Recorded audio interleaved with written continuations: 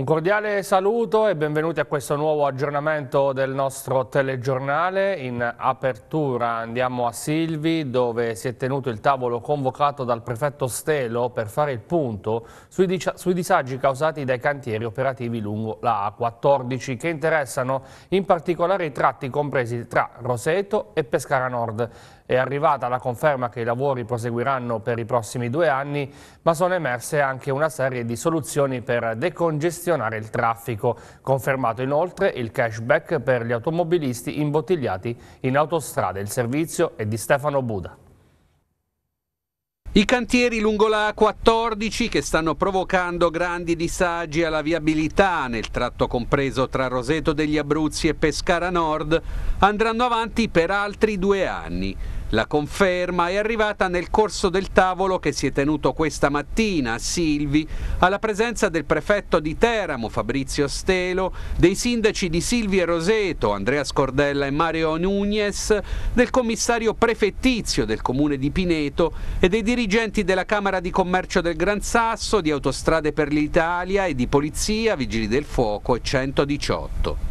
Cantieri proseguono, stanno proseguendo eh, a ritmo il più veloce possibile, però complessivamente dureranno altri due anni. Due anni eh, però in cui ci saranno dei importanti momenti di sospensione di questi cantieri, di questi lavori, quindi il ripristino della circolazione ordinaria, normale, eh, quindi eh, le vacanze di Natale, Pasqua, i vari ponti, i mesi estivi, tutti i periodi in cui ehm, c'è più turismo, turismo, le scuole sono chiuse, c'è più circolazione e quindi i cantieri verranno tolti. Questo ovviamente eh, diluisce la, fine dei lavori che appunto si prevede per, due anni. Il problema è che eh, ridurre il traffico sulla 14 vuol dire sostanzialmente farlo convergere sulla statale 16 e, e la statale 16 ha i suoi problemi a cominciare dal, dall'attraversare diversi centri abitati, quindi si vedrà di volta in volta qual è il minore dei mali. Ecco, si è parlato anche dei rimborsi da parte di Autostrade per l'Italia. Sì, questa è un'iniziativa che ha adottato la società Autostrade e ora in riunione infatti ce lo, ce lo spiegavano che si chiama mi pare cashback che è una specie di rimborso per l'eccessivo disagio subito che è una procedura che sta funzionando nel senso che molti utenti purtroppo perché ovviamente hanno subito un disagio purtroppo chiedono questo rimborso e però eh, assolutamente eh, lo ottengono insomma ecco quindi è una, chiaramente non cancella il, il disagio vissuto ma che almeno è un, un piccolo buon segnale eh, di, di, vicinanza diciamo così, da parte della società autostrade. Andrea Scordella, primo cittadino del comune più colpito dai disagi causati dai cantieri, accoglie con soddisfazione le misure messe a punto nel corso dell'incontro. Ah, intanto permettetemi di ringraziare Sua Eccellenza il Prefetto per aver scelto come punto d'incontro la città di Silvi che è quella più martoriata per l'interruzione autostradale soprattutto del flusso veicolare che, si, che complica diciamo, la, la, vita quotidiana dei nostri cittadini.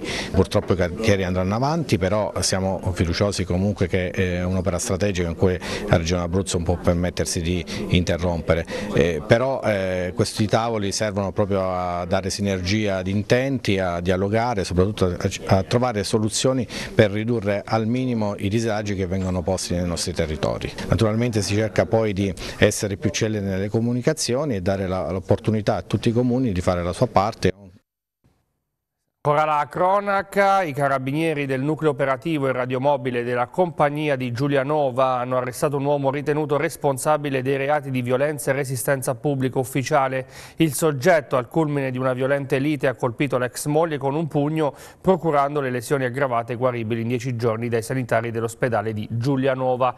L'uomo ha poi aggredito anche i carabinieri intervenuti a seguito della chiamata eh, da parte dei parenti della donna, colpendone uno con una gomitata. L'arrestato, eh, come disposto dal PM di turno della Procura della Repubblica di Teramo, è stato posto agli arresti domiciliari in attesa di comparire davanti al giudice del Tribunale di Teramo per l'udienza di convalida.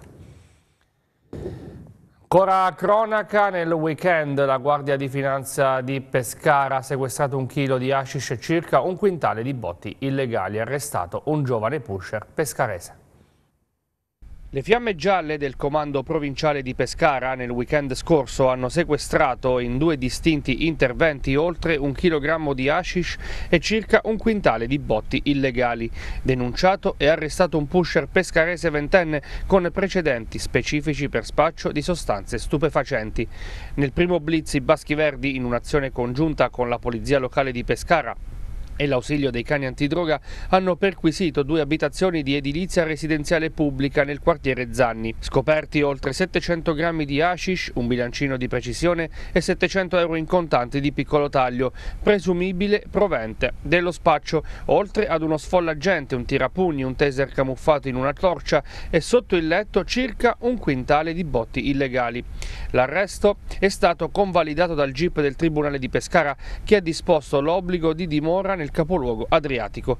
La polizia locale ha anche attivato la procedura per il recupero degli alloggi popolari in cui sono stati rinvenuti la droga e il materiale esplodente.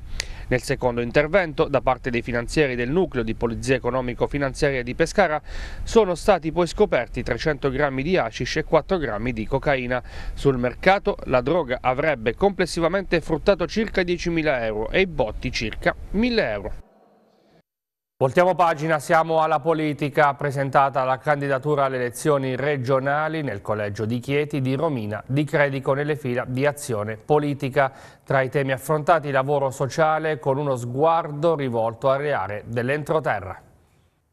Comincia a prendere forma la squadra che rappresenterà azione politica alle prossime elezioni regionali. Il movimento civico convogliato nella Lega e presieduto da Gianluca Zelli ha ufficializzato la candidatura di Romina Di Credico nel collegio di Chieti. Sposata con due figli, la Di Credico è alla prima esperienza politica, anche se ha sempre seguito le attività del movimento regionale. Quindi io sono fiera di partecipare a, questo, a questa candidatura, spero di farcela, ma ce la metterò tutta e speriamo che, insomma, di poter portare dei buoni risultati uh, a Chieti. I punti principali sono il sociale soprattutto perché ne hanno molto bisogno, la comunità ha bisogno di aiuto, di sostegno e, anche, e poi anche altri punti fondamentali come la, la salute, la sanità, il, il lavoro che è molto, un tema anche importante soprattutto per il futuro dei nostri ragazzi, dei nostri giovani e perché no anche il turismo perché questa città vale e ha molto molto da far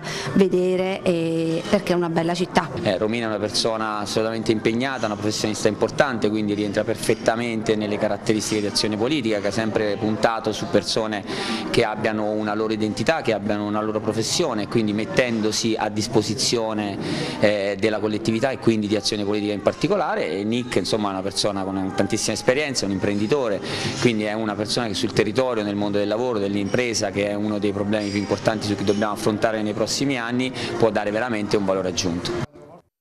Ora la sanità, dopo le province di Chieti e Teramo anche l'ASL di Pescara inaugura il progetto Abruzzo in Salute, le case della salute mobili saranno a disposizione per una serie di screening di prevenzione. Un investimento complessivo di 5 milioni di euro finanziato da Regione Abruzzo con fondi PNRR per portare con ambulatori mobili i servizi sanitari di prossimità direttamente nei comuni abruzzesi. Il progetto Abruzzo in Salute, già attivo nelle province di Teramo e Chieti, il prossimo 30 novembre partirà anche in provincia di Pescara. A disposizione della ASL di competenza 700 mila euro. Saranno interessati complessivamente 18 comuni, i primi 5 Pescara Pescara, Città Sant'Angelo, Colle Corvino, Manopello e Torre dei Passeri fino al 21 dicembre, gli altri a partire da gennaio 2024. Gli abitanti di questi paesi potranno eseguire gratuitamente e senza impegnativa una serie di prestazioni sanitarie. Il poliambulatorio mobile è attrezzato con diversi ambulatori, sale di attesa e attrezzatura diagnostica di ultima generazione. Come quelli dei tre screening, screening i tre screening oncologici, quello della mammella, della cervice, cervice e del colon, le, si faranno gli esami di spirometria, la mappatura dei nei, l'ECG, eh, sono tutti esami che, eh, di prevenzione. Chiaramente eh, acceder, potranno effettuare questi esami tutti coloro che stanno sia in fascia eleggibile popolazione target e, e anche rispettando le annualità. Il progetto risponde alla volontà di raggiungere le aree interne della regione, spesso caratterizzate da un'ampia distanza tra i centri abitati e gli ospedali più vicini. Un'iniziativa per migliorare l'accesso alle cure sanitarie venendo incontro a quelle che sono le problematiche delle liste d'attesa molto lunghe. Eh certo, adesso noi eh, diciamo che eh, lo sollecitiamo lo screening, quindi eh, aiutiamo anche a ridurre questo fenomeno delle liste d'attesa perché siamo diciamo, proattivi, eh, non aspettiamo che il cittadino venga da noi ma siamo noi ad andare da lui. Cambiamo argomento, due giorni di dibattiti e confronti sul turismo attivo ed esperienziale, un workshop tra i protagonisti della filiera del turismo. Primo appuntamento mercoledì 29 novembre all'Aquila. Tutto pronto giovedì 29 all'Aquila e venerdì 30 a Pescara per la nuova edizione di Abruzzo Attrattivo, la manifestazione che dal 2015 chiama raccolta il mondo del turismo abruzzese sulla spinta di Federpate, Confesercenti, Federazione dei professionisti del turismo attivo ed esperienziale e che quest'anno, dopo il sold out registrato nelle precedenti edizioni, si fregia dell'alto patrocinio del Ministero del Turismo e dell'ENIT, Agenzia Nazionale del Turismo. Evento unico nel suo genere che chiama raccolta esperti, imprenditori, docenti, decisori e relatori di primo piano per formarsi, discutere, confrontarsi e siglare un documento finale che rappresenta la base della collaborazione fra i diversi attori abruzzesi. L'obiettivo è quello di rappresentare sui vari livelli istituzionali le esigenze degli operatori di tale settore. 100 operatori, circa 100 operatori insieme alle istituzioni, alle amministrazioni, agli enti eh, cercano coraggiosamente di parlare, di confrontare confrontarsi, di formarsi, tanta formazione quest'anno, ma soprattutto di pianificare quelle che sono in qualche modo le strategie future. Le strategie future non possono prescindere dalla strategia principale che è quella delle relazioni. L'Abruzzo è una regione molto attrattiva, ha ancora tanti ritardi, ha dei limiti, ha un, sicuramente deve recuperare un po' di strada rispetto ad altre regioni, però negli ultimi anni sicuramente è stato fatto un ottimo lavoro e questo ottimo lavoro va riconosciuto in primis agli imprenditori, ai professionisti, alle guide, agli accompagnatori, agli operatori turistici, tutti in generale, che insieme alle istituzioni stanno cercando un dialogo per poter garantire un'offerta ancora più potente e soprattutto un sistema turistico integrato di qualità. Cosa rappresenta per il movimento turistico abruzzese un'opportunità del genere? Ma sicuramente una due giorni importanti di approfondimento su tutto quello che è il mondo esperienziale, una manifestazione fatta eh, vis-à-vis con tutti gli operatori del turismo esperienziale, sul turismo esperienziale abbiamo numeri in crescita esponenziali e quindi poniamo la giusta attenzione a questo fenomeno. Magari c'è qualche regione che è partita prima su questo segmento, però ritengo che eh, i numeri, soprattutto rispetto all'anno scorso, ci danno decisamente ragione. Ed ora siamo allo sport, il calcio di Serie C, la sconfitta col Cesena di sabato sera relega il Pescara a distanza siderale dalla coppia di testa formati da Cesena e Torres.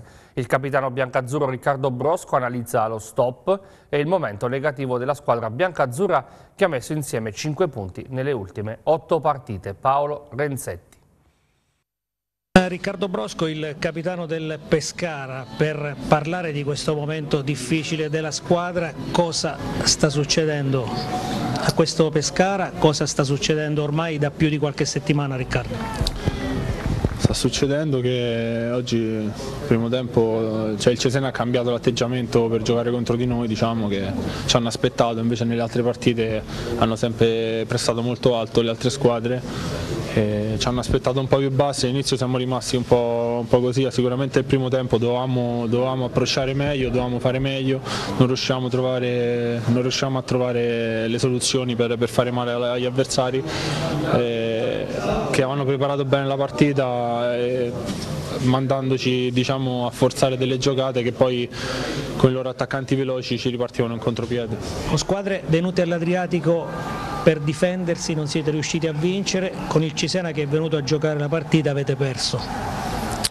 Sì, sì, vabbè, ma col Cesena ovviamente la partita si preparava da sola, nel senso che è una squadra secondo me la più forte del campionato e secondo me oggi se fosse successo in un altro periodo ecco, forse staremmo parlando di un'altra cosa, però visto che è un periodo negativo sicuramente le, le sconfitte pesano al doppio. Eh, secondo tempo secondo me la reazione nervosa c'è stata, magari non organizzata, non, non, pulita, però a livello nervoso c'è stata sicuramente. Poi il portiere ha fatto due grandi parate, una su me e una su Cangiano, che sicuramente poteva portare un pareggio che secondo me ci poteva stare tranquillamente, però noi come Pescara dobbiamo, dobbiamo trovare delle soluzioni più pulite per riuscire a far male gli avversari. Come si può uscire da questo momento davvero critico? Ora ci sono due trasferte tra l'altro. Beh, io, io, nella mia carriera quando c'è un momento buio si, si, se ne esce solo in un modo, con, con il lavoro, continuare a lavorare, continuare a perseverare magari andare a fare un, un, pelo di più di quello che stiamo facendo sia a livello fisico che a livello mentale, ritrovarci tra di noi e cercare di uscire da questo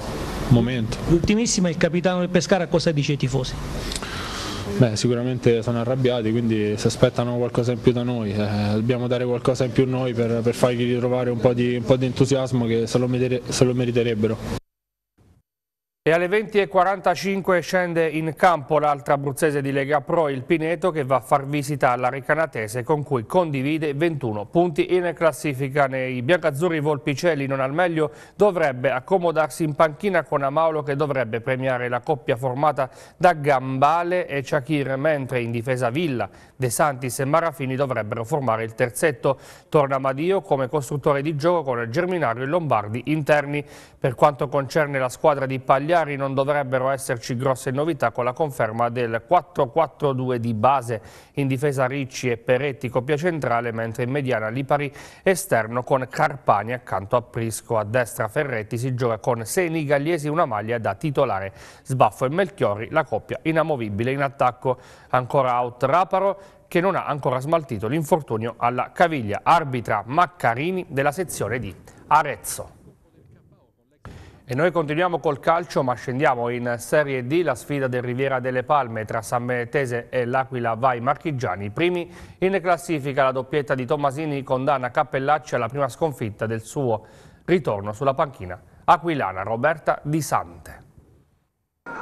La San Benedettese dimostra di essere capolista non a caso, supera 2-0 l'Aquila con una doppietta di Tomassini e condanna la formazione abruzzese alla prima sconfitta dell'era Cappellacci. Non basta l'incitamento degli oltre 600 tifosi giunti dall'Abruzzo alla Riviera delle Palme per scuotere i rossoblu ospiti incapaci di proporsi con pericolosità dalle parti di un inoperoso Coco. 4-2-3-1 per la San Benedettese oggi guidata in panchina da Mancinelli con Lauro squalificato per una giornata che ritrova Battista in avanti ma perde per squalifica Sirri e Barberini.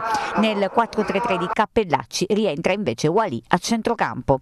Primo tempo di marca casalinga con la San Benedettese che fa la partita mentre l'Aquila è più attendista. Primo vero squillo al quarto d'ora quando Danilo Alessandro riceve dalle retrovie e se ne va sulla destra. La conclusione a botta sicura è la gran risposta di Michelin. Insiste la San Benedettese al 23esimo con Battista che rifinisce finisce un'azione insistita ma trova ancora una volta pronta la respinta coi piedi di Michelin che risponde presente e salva i suoi.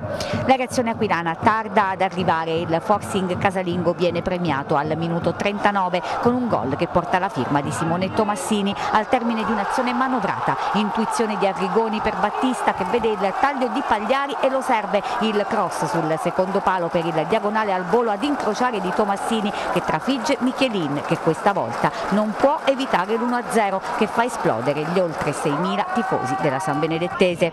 Solo nel finale l'Aquila bozza una reazione con il colpo di testa di Galesio che chiama Coco alla presa alta.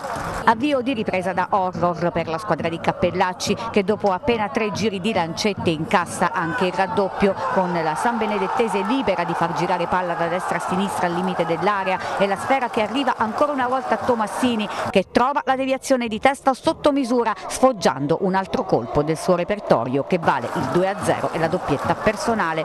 Quindi rivoluziona la squadra Roberto Cappellacci con un quadruplo cambio all'undicesimo, escono Bellardinelli, Galesio, Carbonelli e Tavoni, entrano Pietro Paolo, Bacio Terracino, Jonathan Alessandro e Lorenzoni, ma la reazione che il tecnico aquilano vorrebbe non c'è e la San Benedettese sembra poter controllare la partita. La conclusione fuori misura di Bacio Terracino al 37esimo e il colpo di testa di Capitan Brunetti sull'angolo di Banegas al 42esimo sono troppo poco per una formazione che vuole combattere per il vertice e segno che oggi doveva andare così. Al triplice fischio la festa è tutta per la capolista che consolida il primato e lancia la prima vera fuga del campionato. L'Aquila si lecca le ferite e resta al quinto posto ma viene agganciata dalla Corsa Empronese in attesa di ospitare al Gran Sasso d'Italia il Vasto Girardi ma dovrà essere tutta un'altra musica. Pareggio senza reti e con poca emozione per il Chieti che esce con un punto da Termoli, al Cannarsa la versione opaca dei neroverdi che sono ora a meno 5 dalla vetta. Non va oltre lo 0-0 il Chieti che contro il Termoli fa un passo indietro rispetto alla prova offerta contro la capolista San Benedettese. Quando non riesce a vincere meglio non perdere, è vero, ma per attestarsi tra le big del raggruppamento questi sono due punti persi e la prestazione non aiuta di certo. Come fu contro il Vasto Girardi, ultima della classe ancora indigesta per i neroverdi. Pizzi, che sostituisce lo squalificato chianese in panchina, non può contare su Masavud e D'Ancora. Per la prima volta insieme dal primo minuto Ardemagni Magni e Fall. 270 secondi e Chieti ha subito la chance per sbloccare la partita. Sul corner di Mercuri Fergione non trova la sfera da ottima posizione. Non un primo tempo entusiasmante, come di fatto lo sarà col passare dei minuti tutta la sfida. L'avvio del Chieti però sembra essere promettente. Salvatore chiama lo stacco aereo Ardemagni ma la torsione sul primo palo termina sul fondo. Il Termoli concede la manovra agli avversari, ma il Chieti in zona offensiva sembra avere le polveri bagnate e il tandem Fall Ardemagni va affinato. I giallorossi allora prendono fiducia.